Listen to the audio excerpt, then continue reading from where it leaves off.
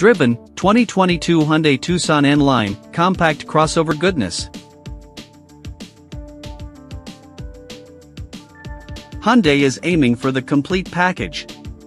When we first drove the new generation of Hyundai Tucson, we noted that it had finally been blessed with the looks and chops to stand out as a segment leader. That's a big claim when the best-selling vehicle that isn't a truck is the Toyota RAV4, and cars like the Honda CR-V and Mazda CX-5 are in the mix.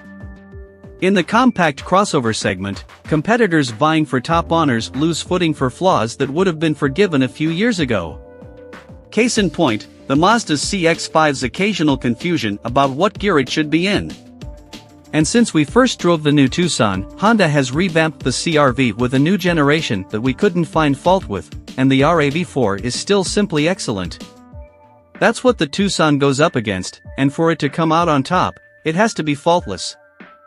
We spent a week with the Tucson and N-line specification to get a better feel for the crossover and come to a conclusion. Styling, cutting edges styling. While Honda is ironing out its quirky designs and Toyota is making the RAV4 look like every other Toyota SUV and truck, Hyundai is setting itself apart. The Tucson manages to be different without being too quirky, and there's sophistication in those sharp creases and angular lines. Every car on the road now has a flashy grille, but Hyundai has integrated its headlights and running lights into the intricate styling of its parametric jewel design. Hyundai sent us the N-Line trim, which gets an elaborate design element added to the grille, which the manufacturer suggests creates additional reflections, depending on the angle. The N-Line also gets a larger, squared-off bumper with more prominent air intake. The bumper repeats itself in style at the back and has a silver skid plate added. The lights also get new bezel frames and a new spoiler sits on the back. The whole package rides on unique 19-inch wheels. Interior, simple but modern. Hyundai could have carried on the edgy styling inside the vehicle, but instead, things are kept simple, with the flashiest element not being particularly flashy. The dashboard design seems to curve right into the door trim and makes for a reassuring and snug cockpit type feel, but without actually being constricted. Rear passenger space is important in a compact crossover, and the Tucson has space for kids to grow into and room for taller adults that won't feel cramped over short journeys. Roominess aside, neither the standard 8.8-inch touchscreen on the base model nor the larger 10.25-inch screen added to the upper trims is out of place. Infotainment, almost top tier. Currently, Hyundai beats out Toyota and Honda on infotainment.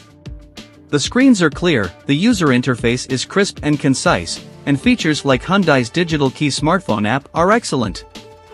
Most importantly, wireless CarPlay and Android Auto are standard, something that should be a given on cars designed for small families and regular commuting as we head into the 2023 model year. Where things take a dip is higher up in the trim levels, where the upgrade to a Bose audio system happens. We've yet to hear a Bose audio system we would want in our own car, and that's no different for the Tucson, sadly. Powertrain, all the options. Hyundai has taken a blanket approach to drivetrains with the Tucson. You can have gas-only power, hybrid, or plug-in hybrid power. A 2.5-liter four-cylinder engine with 187 horsepower is standard on gas models, and like all the base engines in non-premium compact crossovers, it's adequate for power and good for fuel economy. The N-Line model offers no extra power, just a more aggressive response to inputs from the engine management software. The hybrid and plug-in hybrid variants come with a 1.6-liter turbo inline-4 with an electric motor, all-wheel drive as standard, and 226 horsepower and 261 horsepower, respectively. While the gas-only engine makes adequate power, the 8-speed transmission is well-tuned, and we couldn't find any fault.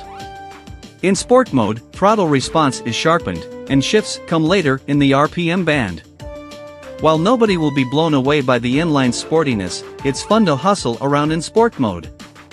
On the road, well-mannered and squared away. A curiosity of the N-Line model is that the push-button drive select system is replaced by a traditional shift selector. That makes sense for shifting modes on the fly, but we have no issue with the push-button system. Despite the sport-tuned suspension, the N-Line model still has agreeable ride quality and is perfectly suited to a daily commute. It comes into its own when it's time to hustle, though, and with the Tucson's responsive steering, it's fun to get the car into corners. The N-Line is more about looks than performance, though, and you'll want a full-fat Hyundai N model if you want to carve up the back roads regularly. If your weekly schedule includes back roads, though, and you like the styling, there's a good argument for choosing the sportier trim. For cruising, we would take a non-sport trim Tucson, as that's where the crossover shines. In the N-Line, you feel the stiffer suspension and bigger wheels affecting ride quality. Should you get the Tucson in N-Line trim? The N-Line trim is an indulgence in a class of vehicles where affordability is a key factor. Starting at an MSRP of $31,200 in FWD guise for 2022, there is value for money if you're into the Tucson N-Line styling and a back road is part of your commute. Otherwise, if you want more power and better fuel economy, the hybrid models are a better bet at a few thousand more. The Tucson is still fun to drive without the upgraded suspension and throttle and transmission mapping. There's no N-line trim on the hybridized versions of the Tucson, though. We wouldn't file the Tucson N-line away as an enthusiast's car, but for someone that wants to look good and occasionally pick up the pace, it has a place in Hyundai's lineup. When it goes up against the Toyota RAV4, we prefer the Tucson in general. Toyota has angled the RAV4 as a soft-roader with its sportier trims, so there's no real comparison to the N-Line. We still need to get the new Honda CRV in for a full week, but from our first drive experience, we believe it will be a toss-up. However, Honda has leaned into its sport trims, and they're hybrid only. There's more power there but also more weight. Still, we would wait for the CRV Sport to hit the dealerships and test drive them both before making a decision.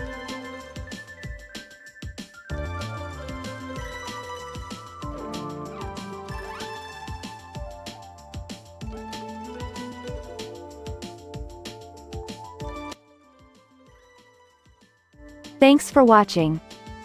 Drop a like. Leave a comment. And don't forget to subscribe to watch more videos like this.